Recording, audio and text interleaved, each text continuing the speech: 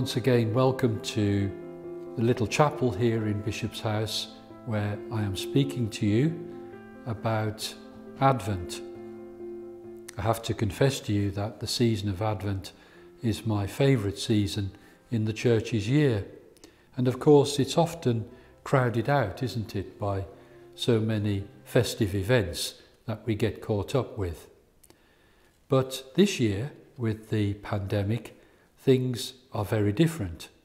And it is as though we are going out into the desert with the prophets, with John the Baptist, with Our Lady, in order to experience what Advent means. The word, of course, uh, is derived from the Latin word for coming, Adventus. We are reflecting upon the coming of Jesus. And as so much of the liturgy during this season puts it, we are waiting in expectant hope. And I think those three words, waiting, expectant, and hope, sum up so much of what our meditation during Advent might be. So, first of all, let's think about the idea of waiting. I don't know about you, but I have to confess too, a lot of confessing in this little meditation. I have to confess that I'm not a very patient person at times, and I can get very impatient, especially when I'm waiting in the queue uh, to pay at the supermarket, or if I'm waiting for a train to come and it's been delayed. In fact, I think about waiting for something like a bus or a train, and often I think about a collection of people who are not exactly a community, but are just joined together by that business of waiting for the train to arrive.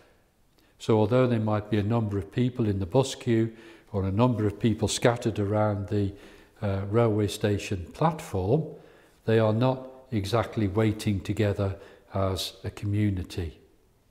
And that's a big difference between our Advent waiting and waiting, say, for a train.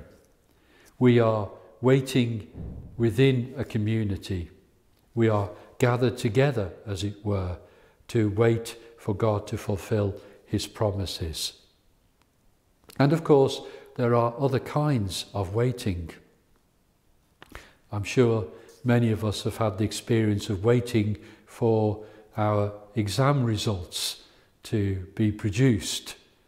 We wait, perhaps not in expectant hope, but almost in, in dread, wondering whether we've passed the wretched thing and can move on to the next stage in, in our education or our life.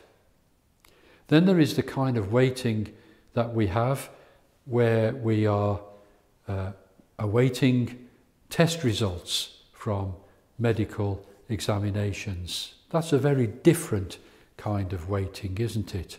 And we realize uh, when we get the result and we get the all clear that suddenly life is very different. A great cloud has lifted from us and the waiting uh, is soon forgotten.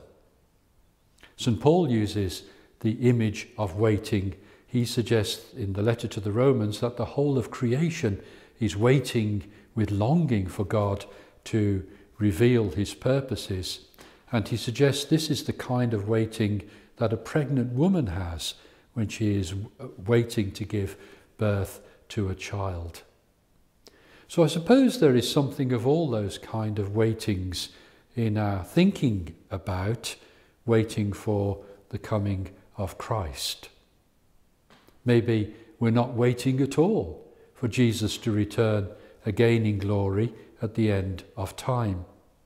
Maybe we think Jesus' one coming 2,000 years ago in Bethlehem was enough to keep us going, and why do we need to await something else? I think the Advent season is framed within salvation history and our understanding of what it means to be a people of faith who are hanging on every word that God has spoken to us.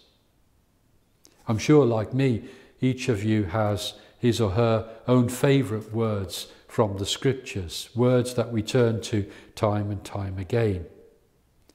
But we need to move to a point where we can hear God's word in its entirety, where every word is like a precious gift that we have received and we receive with, with a great sense of joy and a great sense of wanting to know what that word is communicating to us. And that gives us a sense of what expectant hope is all about. When I read the words of the prophets, I am astounded by their faith and expectation of God's promises.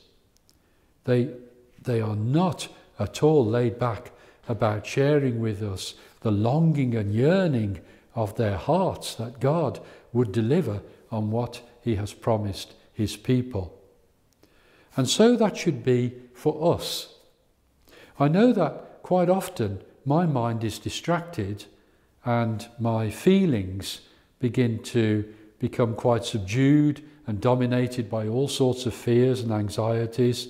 Uh, and I wonder what's around the corner, and then I listen to this voice and the next one, and I begin to think to myself, what's all that about? And that's when I need to remind myself, usually in the prayer of praise and adoration, where I praise God, uh, sometimes out loud. I have to look around and be careful there's no one else around when I'm doing that, otherwise they might wonder what's going on. But I, I like to praise God for what God has done and what God is going to do. It makes it more real to me. It makes it more tangible that when I praise God for what the Lord has already done in salvation history, then I can be sure that I am waiting in expectant hope and not that kind of indifferent, take it or leave it approach that so often marks our waiting. So let's turn to the Lord now and let's ask Him to be with us in this time of Advent waiting.